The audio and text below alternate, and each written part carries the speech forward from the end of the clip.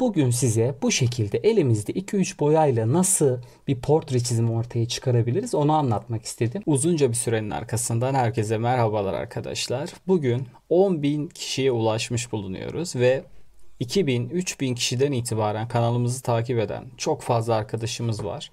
Çok çok uzun süredir de bekliyordunuz bu tarz renkli portre çizimi videosu. Ben de 10.000 aboneye özel böyle bir video hazırlamak istedim. Öncelikle herkese desteklerinden dolayı çok çok teşekkür ediyorum. Nice 10 binlere diyorum ve her zamanki gibi hiç uzatmadan hemen dersimize geçebilirim. Bana en çok yakındığınız konulardan bir tanesi boyam yok ve resim yapamıyorum. Arkadaşlar bizim herhangi bir resmi ya da en basitinden bugünkü gibi bir tane renkli portre çiziminde ihtiyacımız olan renkler kırmızı, sarı, mavi. Başka hiçbir renge ihtiyacımız yok. Bakın bugün ten rengini de oluşturacağız. Göz rengini de oluşturacağız. Bu gölgelerimizi de vereceğiz. Her şeyimizi bu renklerle oluşturacağız. Umarım faydalı bir ders olacak sizin için. Hemen başlayalım isterseniz. Ten rengimizi hangi renklerle elde ediyoruz? Ten rengimizi kırmızı, sarı ve beyaz renklerimizle elde ediyoruz. Öncelikle elime aldım sarımı, kırmızımı ve beyazımı. İlk başta biz portremize genel bir tarama atacağız. Daha sonra ince ufak detaylarına gireceğiz ve yaklaşık 15 dakika içerisinde acaba bu renk tonlarını nasıl ayarlayabiliriz onu görmüş olacağız. Ve size ara ara böyle sürekli püf noktalar vereceğim. Aynı şu an vereceğim gibi mesela ilk başta açık tondan başlamamız gerekiyor. Çünkü rengi daha kıvamlı bir hale getirebilmemiz için en açık tonumuz hangisi? Sarımız. Sarımızı elime alıyorum ve resmime şu şekilde genel bir tarama atıyorum.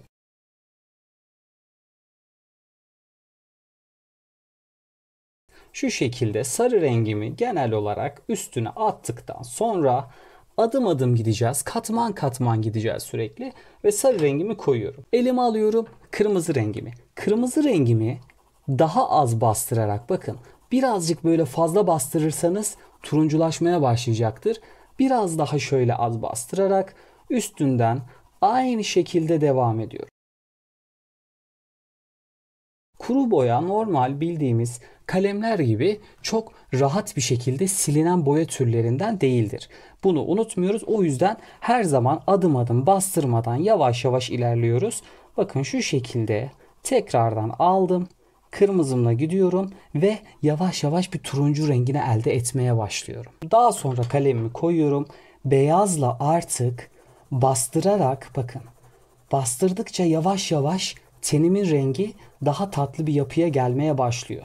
Yavaş yavaş bastırarak aynı şekilde resmime devam ediyorum. Bu şekilde aldım elime kalemi, üstünden bastırarak devam ettim ve renklerimi birbirine iyice kaynaştırdım. Tekrardan geliyorum, alıyorum elime sarımı ve tekrardan sarıyla rengimin üstünden gidiyorum. Birazcık daha böyle bastırarak sarıyla devam ettim çizime. Bırakıyorum, kırmızımı alıyorum. Kırmızımla birlikte tekrardan bastırmadan üzerinden gidiyorum ve yavaş yavaş gördüğümüz gibi portremiz bir renk almaya başladı. Bırakıyorum. Tekrardan elime beyazımı alıyorum ve bu aşamadan sonra bakın bir püf nokta vereceğim şimdi sizlere. Genelde bu püf noktayı çok çok fazla görmezsiniz. Fakat ben size göstermek istiyorum. Şu şekilde aldım ve iyice kaynaştırdıktan sonra artık boyamı bırakıyorum. Şimdi yapmamız gereken olay silgi arkadaşlar. Elime şu şekilde bir tane hamur silgi aldım. Bu hamur silginiz yoksa kırtasiyeye gidip yani herhangi bir kırtasiyede de bulabilirsiniz. Hamur silgi derseniz onlar size verecektir. Elime hamur silgimi aldım ve bastırmadan şu şekilde ilk başta bastırıyorum ve çekiyorum. Ve yavaş yavaş benim alttaki o koyu turuncu rengim açılmaya başlıyor bakın farkındaysanız. Tekrardan alıyorum bastırıyorum bırakıyorum.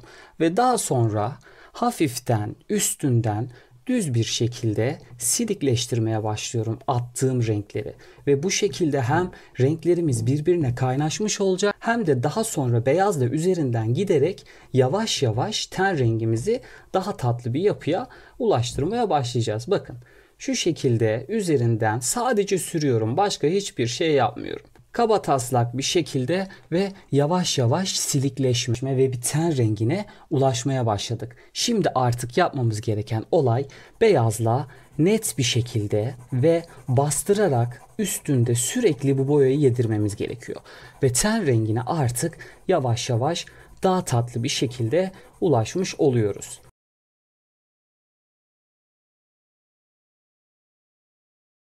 Ve bu aşamayı bakın bastırarak yaptıktan sonra artık biz sarı, kırmızı ve sadece beyazla ten rengine ulaşmış olduk. Aslında böyle çok çok fazla boyaya ihtiyacımız yokmuş demek ki. Artık ikinci aşamamız derinlik ve ışık gölgeye girmek. İlk başta elime alıyorum siyah boyamı ve yavaş yavaş koyu olan yerleri ortaya çıkarmaya başlıyorum. Mesela benim koyu olan yerlerim neresi? Öncelikle ben, ben alırım elime kalemi şu şekilde saçlarıma hafiften bir ton veririm. Ve bu şekilde hafiften saçlarımızı da ayırdıktan sonra artık diğer koyu yerimiz neresi? Kaşlarımız. Kaşlarımıza hafiften şu şekilde koyuluklarımı veriyorum ve fark edeceksiniz biz koyuluklarımızı verdikçe ten rengimiz daha fazla böyle ortaya çıkmaya başlayacak. Çünkü koyu açık zıtlığı ortaya çıkmaya başlayacak yavaş yavaş. Buradaki kaşımızı da şöyle ortaya çıkardık ve gözlerimize geçiyorum. Gözlerimize geçtiğimiz zaman ilk başta şöyle hafiften gözümüzün yerini bir belli edebiliriz. Şurası biraz daha koyu olacak. Portre çizimi derslerimizden hatırlarsınız. Şurada hemen gözümüzün üstündeki göz katmanımızı ortaya çıkarabiliriz. Hemen şöyle gözümüzün kenarlarını yavaştan ortaya çıkarabiliriz. Şuradan şu şekilde ve göz bebeğimizi ortaya çıkarabiliriz. Yavaş yavaş gözümüz de ortaya çıkmaya başlayacak. Hemen diğer gözümüze de aynı tekniği uygulayalım.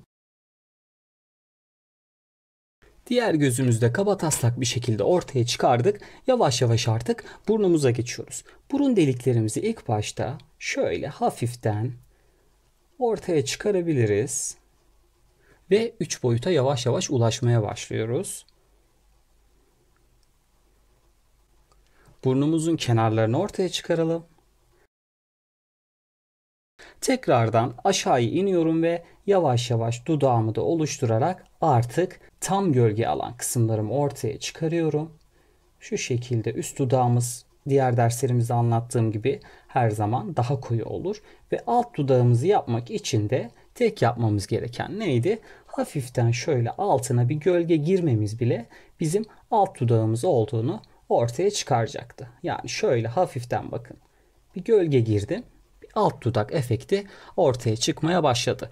Daha sonra hiç bastırmadan şu şekilde yüzümüzün hatlarını ortaya çıkarabiliriz. Çünkü buralara hafiften bir gölge düşer. Biz ne kadar görmesek de bunlar belli başlı kurallardır ve püf noktalardır. Yani sizlerin de işine yarayacak kurallardır. Öyle düşünebilirsiniz. Buraya kadar geldik. Artık renge girmeye başlayacağım. Mesela ben portremin gözlerini mavi istiyorum. Bıraktım siyahımı, aldım elime mavimi. İlk başta şu şekilde gözlerimi mavi bir yapıda oluşturdum. Geldim aynı efekti diğer tarafa da uyguluyorum ve artık gözlerim yavaş yavaş mavi oldu. Fakat gözlerimizi tabii ki de bu şekilde bırakmayacağız. Bizim gözlerimize ışık gölge gireceğiz ayrıyeten. Daha sonra aldım elime kalemimi dudağımı ortaya çıkaracağım. İlk başta hafiften şuraya sarılar taşmış olabilir. Dudağımız yani e, turunculaşabilir. O yüzden kırmızımı aldım. Üste koyu vermiştim ya. O siyahın üstüne kırmızı girip alt dudağıma da hafiften şöyle bir kırmızı girsem. Arkasından bunu beyazla yedirsem bir pembe ve hafiften de bir koyu kırmızı hissiyatını oluşturabilirim. Şu şekilde hafiften bir pembemsilik oluşturduk. Arkasından siyahımı aldım ve dudağımın şu şekilde yapısını ortaya çıkarıyorum.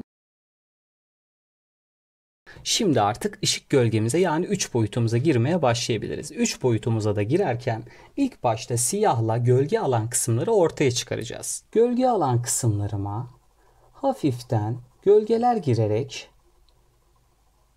bir 3 boyut oluşturmaya başlıyorum.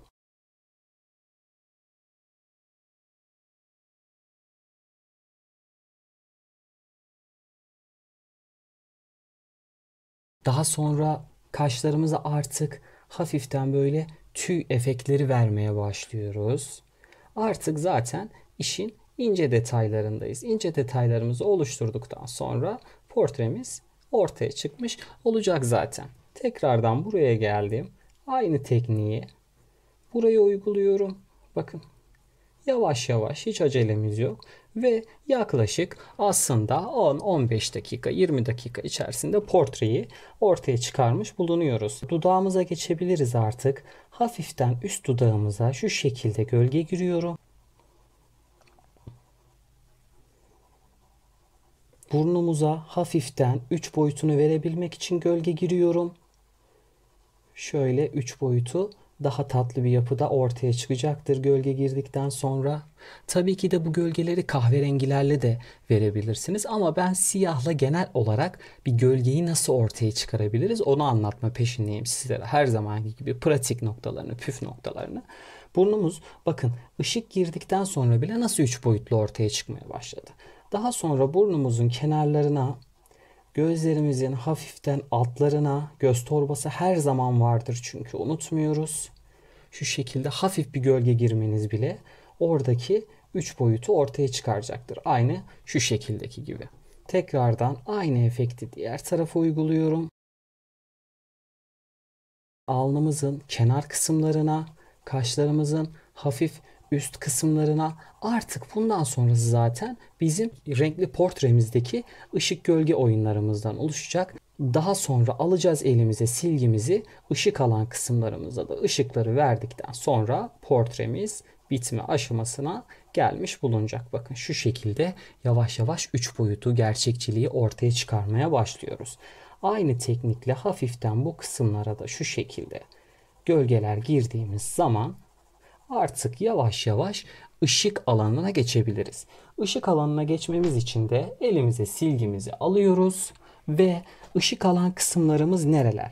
Mesela burnumuzun her zaman tam uç kısmı ışık alır ve yukarıya doğru hafiften bir ışık sekmesi vardır. Bakın buraya ben hafiften şöyle bir silgiyle bir çizgi atmam bile burnumu 3 boyutlu bir yapıya ulaştırdım. Mesela şurada hafif bir çıkıntı vardır. Burada hafif bir çıkıntı vardır. Burnum daha gerçekçi olarak ortaya çıkabilir. Burada bizim şakaklarımızda hafiften ışıklar vardır. Bu ışıklarımızı verdik. Daha sonra hafiften elmacık kemiklerimizde, gözlerimizin altında, şuralarda ışıklar olacaktır. Bu ışıklarımızı verdik. Çenemizin tam uç kısmında ışıklar vardır. Bu ışıklarımızı verdik. Tam dudağımızın üst kısmında ince çizgisel bir ışık vardır. Bu ışığımızı verdik. Bakın şurada. Bu ışıklarımızı veriyoruz. Bu ışıklarımızı unutmazsak yaptığımız ışık gölge daha doğru bir, daha üç boyutlu bir yapıya ulaşacaktır. Mesela hafiften şu kaşımın üstüne şöyle bir ışık vermek istiyorum. Bakın bu ışığı vermem bile kaşımı üç boyutlu bir yapıda ortaya çıkarmış oldu. Hemen tekrardan burada benim bakın şu şekilde bir elmacık kemiğim var. Bu şekilde ışığımı da verdikten sonra kuru boya derslerimize bu şekilde artık yavaş yavaş Üçüncü dersimizde birlikte tam bir giriş yapmış olduk.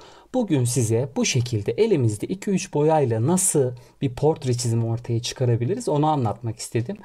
Her zaman dediğim gibi hiç kasmayın olacak zamanla sadece kafaya takmamamız lazım. Bunu göstermek için böyle 10.000 aboneye özel size teşvik edici bir video hazırlamak istedim. Umarım faydalı olmuştur.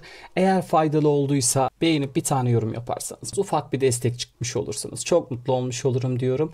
Bir sonraki derslerimizden faydalanmak isterseniz de abone olup bildirimlerinizi açarsanız faydalanabilirsiniz. Kendinize çok iyi bakın. Hoşçakalın. Allah'a emanet olun.